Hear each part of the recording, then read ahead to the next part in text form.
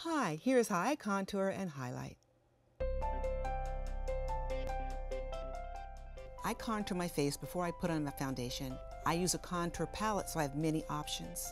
Remember, the key to contouring is highlight brings something out, darkness takes it in. So with a darker color, I contour my cheeks. I am putting this directly under my cheekbone to give the illusion of higher cheekbones. Then I like to highlight my nose.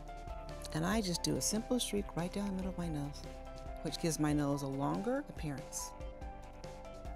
Then I like to highlight my forehead.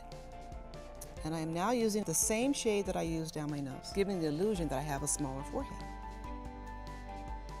And a little more highlight now under my eye before I apply my foundation.